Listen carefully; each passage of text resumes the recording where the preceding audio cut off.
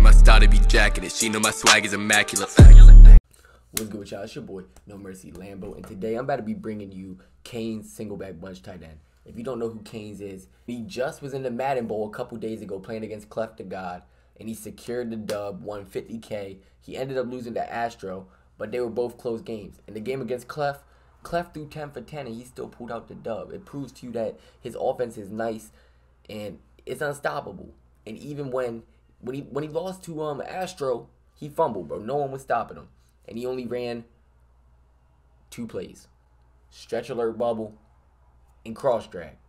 And he basically only had three setups out of those two plays, bro. So like he basically was running the same play and competing and won fifty thousand dollars. So I'm about to show y'all the overpowered plays he had in his stash. This is his favorite run play right here. Stretch alert bubble at a bunch tight end. You see right now the right side's open, it's nice, but what you really want to do, you see how this looks glitchy? You can flip a stretch alert bubble for the first time. You feel me? And look, the blocking is nice. Gone. Gone. Gone. Touchdown. First play. You feel what I'm saying? Now let me show you the passing plays. When he's in single back bunch tight end, the only play he's running is cross drag. This is what his setup looks like when he's on the right side of the field. It's going to be Y on a flat, X post, running back wheel, B drag. Now he's either going to block A or he's going to put A on a streak like this. Now the other thing you can do when you're on the left side, this is what he would like to do. He's going to put RB on an angle, Y flat, A streak, just like this. I mean, just like this.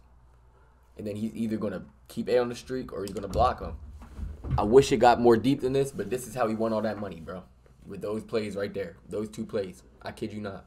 Uh, the last setup I seen, he ran this one like once or twice, bro. He's some shit like that. Then what he would do, a lot of time, he would um audible like this to this tight slots when he's in the red zone.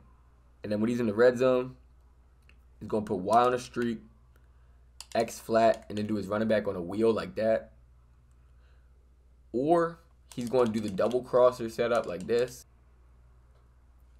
This is what all the pros are running in the red zone.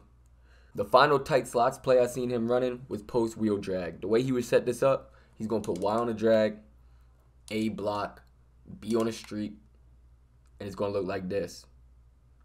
Or in the red zone, he's going to do X on a smart in, Y flat, RB wheel, B streak, and block A like that. The extra running plays when he was in the other formation, like you've seen on the chart. Deuce close stretch, he ran it once. Deuce close zone weak, he ran it once. Uh, bunch offset, he ran inside zone twice. Single back bunch, inside zone once. Double south, single back double south, he ran the dive three times. Those are all the other run plays. But I wish I had more to bring y'all, but that's really that's really all the passing plays he ran. Those two cross drag setups, that was about 50% of his calls, bro. I, I kid you not. The rest were run plays. So, hope you enjoyed this video. Don't forget to comment, like, subscribe. We out. Jump on the stage, make a dime, have a heart attack. 20